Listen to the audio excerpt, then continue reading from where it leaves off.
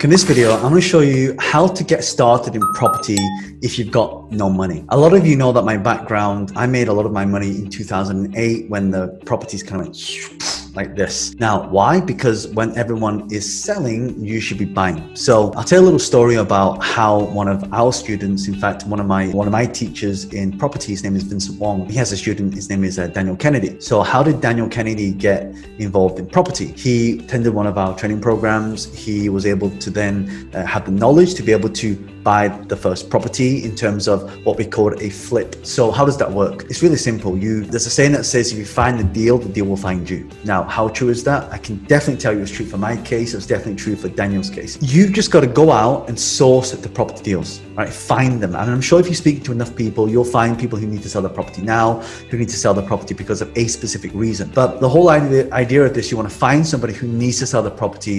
And the, the key here is they want to sell it at a discount. How does this get you started property? So let's say, again, let's keep the figures very simple. Let's say you buy property for 100,000. Well, that's what the property's worth. But you're able to negotiate it to, to say 80,000 right? So you got a 20, 20% discount there. If you could find somebody else and say, look, the property's worth 100, you're going to buy it for 80 and you're going to sell it to somebody else at 85. So, and that's how Daniel started. He started finding and sorting these properties using some of Vincent Wong's strategies. He was literally, I guess, selling and reassigning these deals to other investors. That's one of the best ways you can get started in property because there's no risk for you. I mean, oh, okay, your risk is time. You got a bit of time. But imagine right now that you can go out there and you can find people who have to sell the property. And guess one of the best best ways to do that is to use social media. That's why I teach the three day social media business bootcamp to be able to get a lot of awareness really fast, really quick. For example, right now I have 5 million people that follow me on social media. If I was to make a post on Instagram, for example, I have over 2.2 million people on Instagram. If I make a post and I say, hey, comment yes if you know somebody who's selling a property, or DM me, as in send me a, a direct message if you know someone who's selling a property. So let's say I was just starting off in property. Let's say right now I was just starting off. I would build a following on social media and then I would start literally have one to many and get my message out to a lot of people and say, hey, look, how many of you right now look know someone who wants to sell a property? And then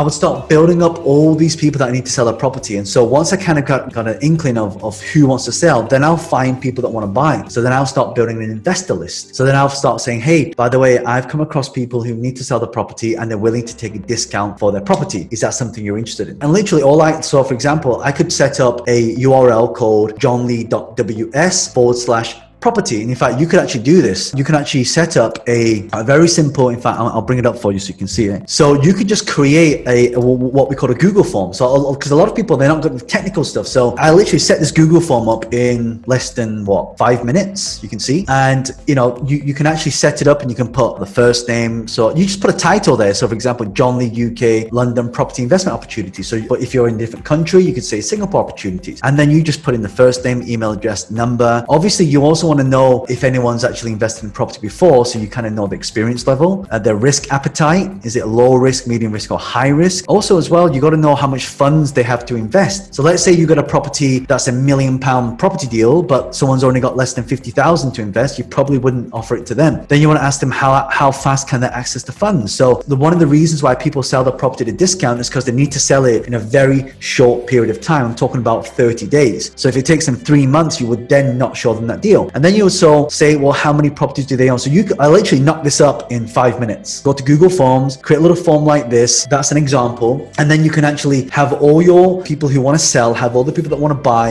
and then you just put them together. So let's say something comes in in London for a million pounds and you can negotiate to 800,000. And by the way, just so you know, the deals that I've been offered over the last three months, I'm talking about, you know, 50,000, 100,000, 200,000 pound discounts, which is insane. So I've never heard before, especially in, in London. And what I'm telling you right now, there's lots of great deals to be had, especially in a downturn. That's where a lot of millionaires are made. If you look at the word crisis, I say this in a lot of my boot camps. The, the word crisis in Chinese is made up of two characters. It's called wei ji, and one word means danger, the other one means opportunity. So in every crisis, there's an opportunity. In every pandemic, there's an opportunity. The question is, are you educated to see those opportunities? And so that's why if you want to start off and you don't have the money to invest in property, you don't have the money to buy invest in property yourself, start off like Daniel did. Daniel started buying lots of properties because he was able to flip a lot of properties and get enough money for deposit to buy his first property. And then he started using that little strategy I shared with you, where you can, you know, go to investors and say, look, you know, just let me know, you know how much you want to invest and where you want to buy. And if one comes up, I'll let you know. You don't have to use the form. You can just have people send you an email, right? As long as you kind of know, then you can then, then you can sort of you can match people to the deals, and then when those deals come, you can charge a fee for it. And what you could do is, you find the deals, you could also have that person buy that property, and you own an equity partnership of that. You know, so that's another way you could do it. But again, you know, I learned there's actually a really good book called Property Entrepreneur, which is that orange book back there. It's written by my business partner Vincent Wong. You definitely check that out because it talks about